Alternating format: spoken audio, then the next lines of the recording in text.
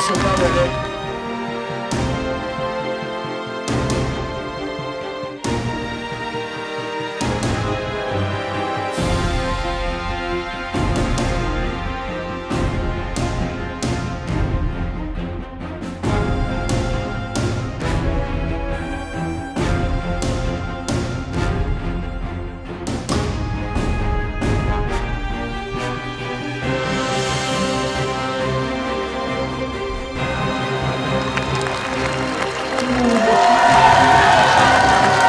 I'll be jumping out, you know.